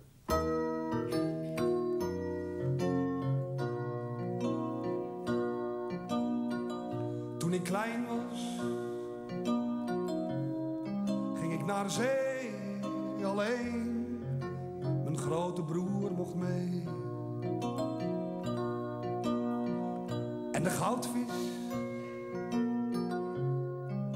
En mijn oma, want die had een zwemdiploma. En mijn vader zei, hé, hey, goeie vaart. En mijn moeder zei, goeie vaart, Harry, stuur je wel met kerst een kaart. Toen ik klein was, werd ik piloot. Net als de buurman, en die was dood. Maar zijn vliegpak hing nog in de kast. Mijn god, ik heb die pet al duizend keer gepast.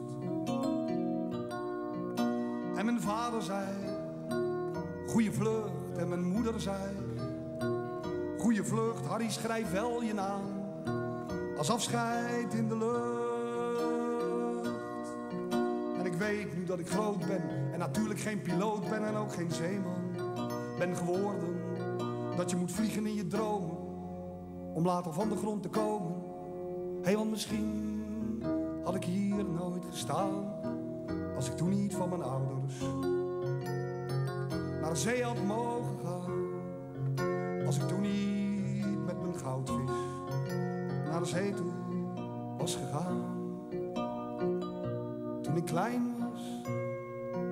werd ik had mijn Sputnik zelf gebouwd. En er zou in alle, in alle kranten staan. Harry Jekkers als eerst op de maan. En mijn vader zei, dat lukt vast jongen. Goeie reis. En mijn moeder zei, goeie reis, Harry vergeet je niet. Die maansteen als bewijs. En ik weet nu dat ik groot ben, geen zeeman of piloot ben en ook zelf nooit op de maan zal staan. Dat je de ruimte moet krijgen om boven jezelf uit te stijgen. Hé, hey, want misschien had ik hier nooit gestaan als ik toen niet van mijn ouders naar de maan had mogen gaan. Als ik toen niet met mijn goudvis naar de zee toe was gegaan.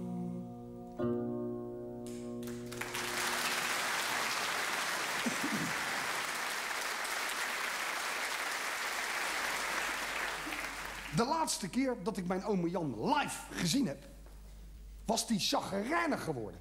Mijn oom Jan. Hij, zat op een stoel en hij vond er geen bal meer aan. Hij mocht niet meer roken van de dokter. Hij mocht niet meer drinken van de dokter. Maar hij deed allemaal wel.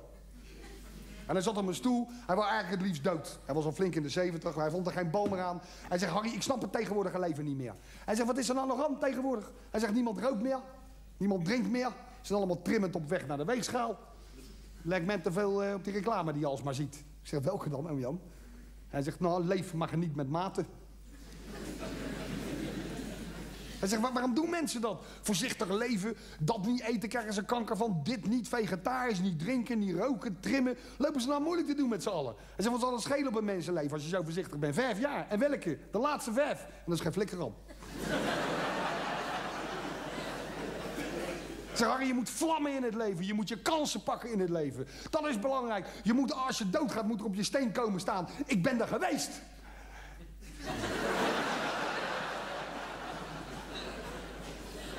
Ja, ja, ja, ja. En ik had een beetje medelijden met hem, want hij wou echt dood en hij was alleen. En, en oma was al lang dood. En, en, en ik, ik, denk, laat ik hem een beetje opbeuren. Dus ik zei op een gegeven moment tegen hem van... Hé, hey, uh, oom Jan, uh, kijk je nog wel eens naar je lievelingssport? Naar de Tour de France? En hij zei, nee, kijk ik nooit meer naar. Ik zei, waarom niet? Hij zei, joh, die gozer met die gele trui wint toch altijd. ik zei, oom Jan, zal ik, dan, zal ik dan een liedje voor u schrijven? Zal ik een lied voor u schrijven? Hè? Ik bedoel, ik schrijf tegenwoordig liedjes. En hij zei van, joh, donder op, joh. Is er nou over men te schrijven, jongens? Een duizend in dozijn gozer, joh. Vinden ze toch geen flikker aan. Nou, nou, nou, nou, nou. Ik zei, hey, kom je nog wel eens in je kroeg, in je lievelingskroeg, in je stamkroeg? En hij zei, nee, kom ik nooit meer. Al jaren niet meer. Na twee maanden terug nog een keertje. Had ik het maar niet gedaan. Had ik het maar niet gedaan. Ik kom daar binnen in de kroeg en het hele zootje, inclusief de professor, zit Bavaria mal te kantelen. Daar word ik helemaal lef van. Dus ik tegen die gozer, zeg ik tegen die barkeeper, ik zeg, ik wil een echt pilsje. Zegt die gozer, wat voor een? Ik zeg, gewoon echt. Geel van onderen, wit van boven en alcohol erin. Die gozer zei, ja, maar wat voor een pilsje dan, Jan? En toen keek ik nog een keer en hij had gelijk. Had gelijk, dat was niet meer zoals vroeger gewoon in het midden één prethaak, waar al het bier uit kwam. Maar twaalf prethaken op een rijtje, jongen. Met allemaal hele moeilijke Belgische biertjes erin. Dus ik denk, nou ja, weet ik veel. Ik begin bij de eerste, kijken hoe ver ik kom. Weet je wel? En er zaten van die hele dure Belgische biertjes bij, van acht gulden. En daar moest je nog een stuk van laten staan ook. Ik zeg, rot is lekker op, ik heb ervoor betaald, ik zuip alles op. Zeg. Ben ik een partij ziek geworden, zeg. Ziek. En, en toen ben ik gered, Harry, door de professor. Dat vond Jovel van hem. Hij zegt, jij bent destijds gematst hè, met die Berini M21. Nu mats ik jou. Ik zuip tegenwoordig dat geile Bavaria Malt. Het is niet te kantelen, maar je houdt wat geld over. Dus ik heb een grote bolide. Ga maar mee. Dat vond toch geinig, Harry. Dus wij gaan naar buiten. Heb die bolide een lekker band? Dus hij pakt de krik, hij draaien. Weet je wel. Hij komt al een beetje omhoog, Jan? Ik zeg, nee, geen centimeter. Hij draaien en draaien en draaien. Hij zegt, vreemd hè Jan, hij komt maar niet omhoog. Ik zeg, nee, als ik jou was, zou ik dan mijn kap hoor. Want volgens mij heb je een verrotte onderkant. Die krik komt langs het serraadje omhoog, dus... Uh,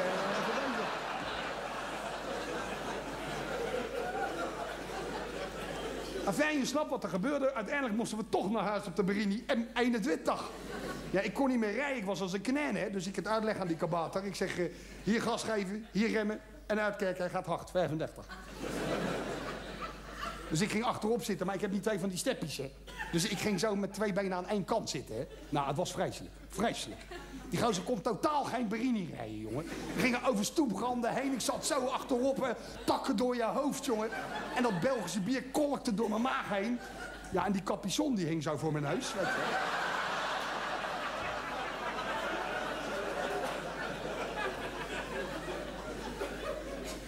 Ik denk, maar kots er niet in. Nee. Tenzij hij het te gek maakt. En hij heeft het te gek gemaakt.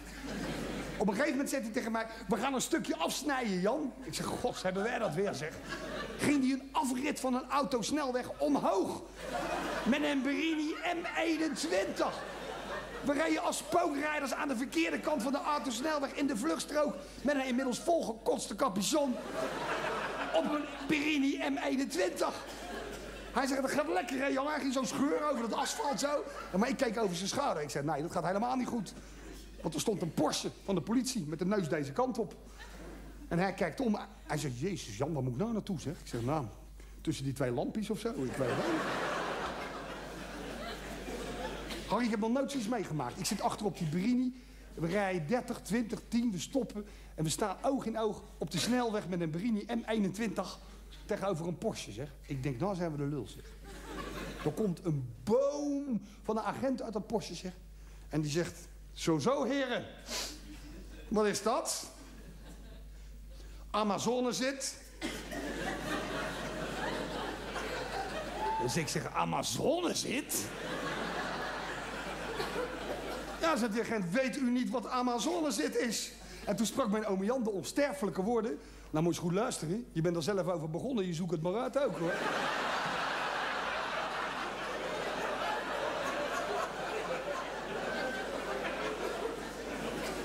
Grandioos, hè? Het is een echt gebeurd verhaal. Dat is prachtig. Dus ik zei tegen mijn oom Jan, nou, dat was je zeker wel de lul. Hij zegt, nee, dat was leuk, jongen. Het was gernig, jongen. Want die gozer, die, die ging lachen. Had een rotte avond gehad, de hele avond al. En die zei, dat is de eerste keer dat ik gelachen heb vandaag, Hagenees. Jij hebt mazzel. Het is een waanzinnige overtreding, maar je hebt mazzel. Draai die klote begin niet meer om, ga maar naar huis. Hij zegt, je kan een end komen met een grapje, hoor, Harry. Ik zei, ja, dat heb ik inmiddels ook begrepen. Ik zeg, maar hoe gebeurde het, wat gebeurde er daarna? Hij zei, nou, daarna, jongen, is het nog fout gegaan. Uiteindelijk is het toch nog fout gegaan. Ik zei, hoe kan dat nou? Schuld van die professor, joh, een zak van een vent. We draaien die Berini om. Ik zeg, dag, ik zwaai, hij zwaait ook. Zet die lul die capuchon op.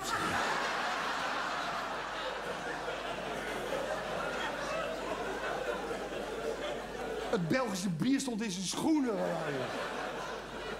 Enfin, toen moesten we blazen, hè. Nou, we hadden geen schijn van kans, jongen. Geen schijn. Als dat, als dat pijpje in de buurt van die professor kwam... Hup, sloeg hij al groen uit, jongen. Toen hebben we een nacht vastgezeten. En weet je wat het met vastzitten is, Harry? En ik zei, nee, om Jan. Hij zegt, je kent dat niet uit.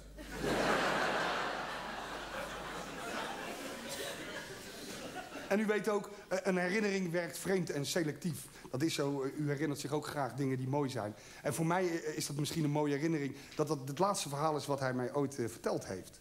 Want vaak wordt mij gevraagd... heeft die man nou echt bestaan, die ome Jan? Ja, die heette Jan Jekkers, die heeft echt bestaan.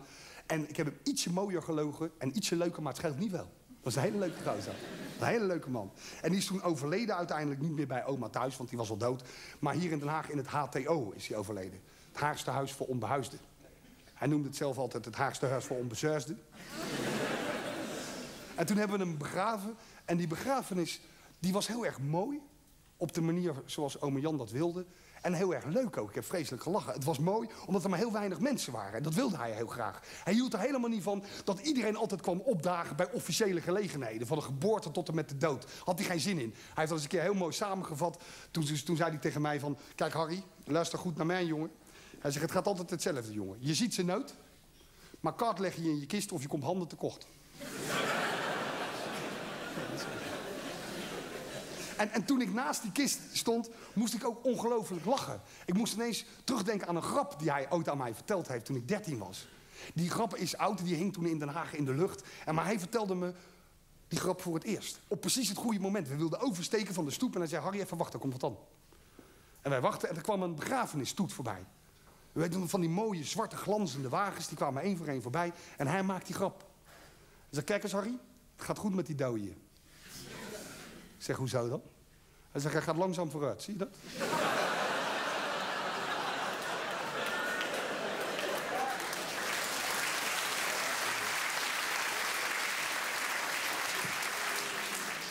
Weet u waar zowel ik als hij een enorme hekel aan, aan, aan hadden destijds? En dat heb ik nog steeds.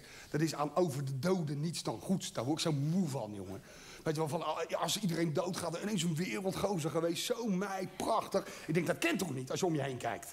Dat je nooit eens een keer leest van, hè, hè, de etter is pleiten of zo. Dat je, toch? En wat ik er weer tragisch aan vind, is de andere kant van de medaille. Dat er mensen zijn, bescheiden en aardig en lief, die goed voor hun kinderen zorgen en altijd aardig zijn en, beleefd. En, en, die krijgen pas in, in, hun rouwadvertentie krijgen ze pas te horen dat ze zo goed waren. En tijdens hun leven nooit een schouderklopje. Dat heb ik liever wel. want, maar ja, het is vaak niet het geval. Ook in ons vak niet. He. Je beste recensie staat vaak in je rouwadvertentie.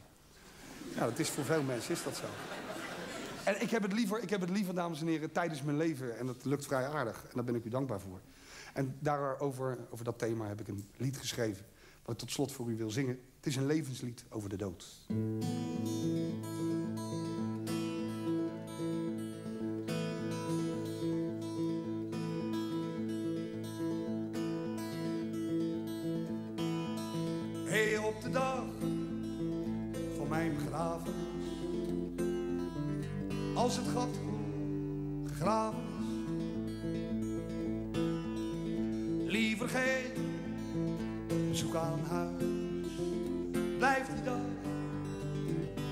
Maar kom maar langs, kom maar langs, kom maar langs, nu ik nog leef. Op mijn grafsteen, hey, aan het eind, in mijn advertentie, zwart omlijnd wil ik geen woorden als dier geliefd, geen innig bemind. Ik wil geen rust in vrede. Op mijn lint, hij noem me lief. Nu ik nog leef, noem me lief. Nu ik nog leef. Nu ik nog leef, hij laat nu de glazen zingen. Tot ze barsten in duizend scherven van geluk nog leef, hey, laat nu de liefde zingen. Want nu ik nog leef, wil ik sterven van geluk. Nu ik nog leef, maar op die dag, hey, zonder keus, met de deksel op mijn neus. Als ik straks lig opgebaard, door nabestaanden, aangestaard, laat dan achter wat aan bederven is. Verdeel meteen de erfenis als ik dood ben. Hey, op kapot, niet op de valreep. Nog even God.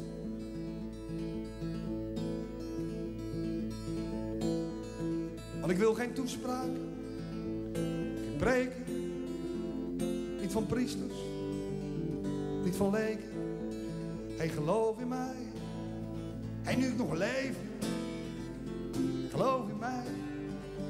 Nu ik nog leef, nu ik nog leef, wil ik de glazen laten zingen. Ze barsten in duizend scherven van geluk. Nu ik nog leef, hey, wil ik mijn liedje zingen. Want nu ik nog leef, wil ik sterven van geluk. Maar ik ben nog niet aan dood gaan toe. Dat is wel het laatste wat ik doe, nu ik nog leef. Nu ik nog leef hey, noem me lief. Nu ik nog leef, nu ik nog leef,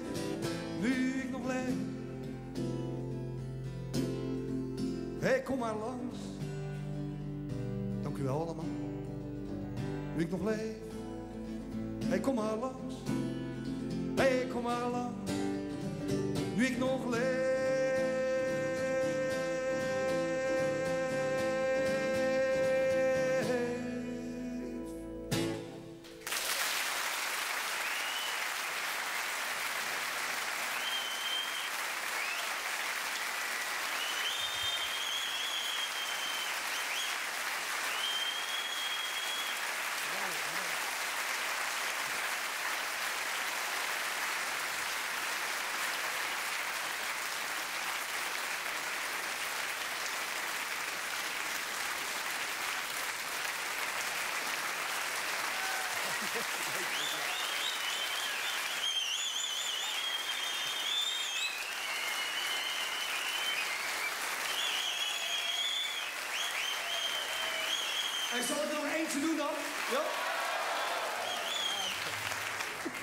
Nou, dat komt goed uit. Ik ben er nog even vergeten.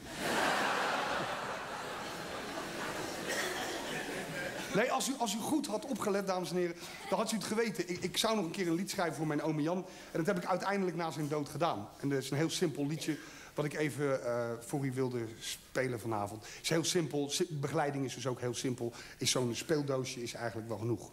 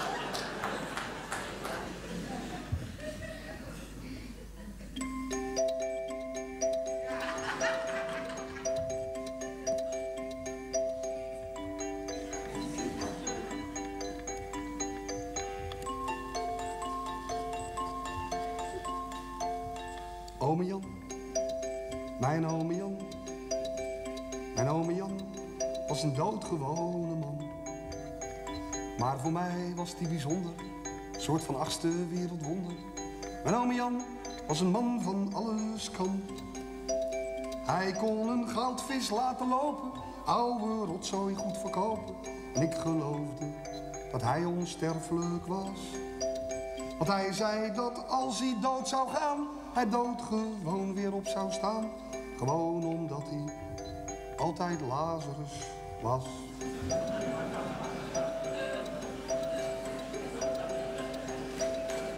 Ome Jan, hey, ome Jan. Je had gelijk joh, dat er van alles kan. Maar had jij gedacht, hij dat er later, na je dood in een theater, toch om je woord gelachen? Ome Jan, weet je nog dat je ooit zei, Harry, een liedje over mij? Joh, dat kan toch niet? Dat vindt niemand toch wat dan? Maar ome Jan, daar in je zandfabriek. Hé, hey, dit was de tekst en de muziek over een gewone man. Voor u geschreven, ome Jan. Heb je het gehoord, zo'n liedje kan? Hey, ome Jan. Zo'n liedje kan.